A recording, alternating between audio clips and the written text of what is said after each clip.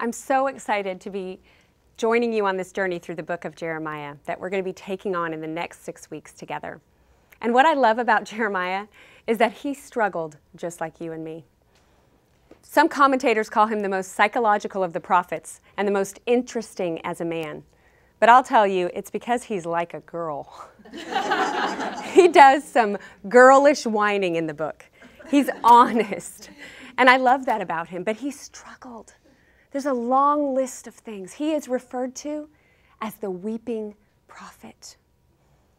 Because when he began to proclaim these messages from the Lord, he was rejected by his family.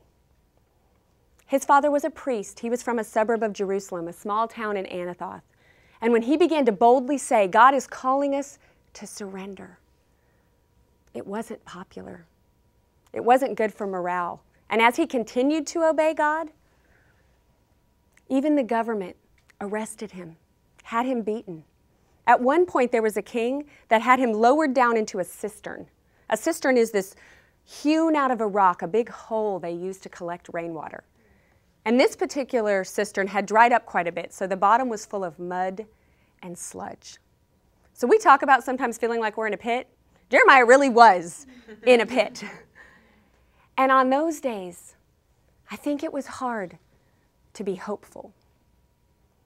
Yet he penned the words in Lamentations. He wrote the book of Jeremiah, but he also wrote the book of Lamentations. It's his lament.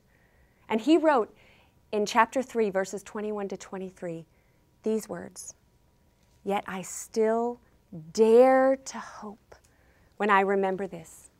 The steadfast love of the Lord never ceases, His mercies never come to an end.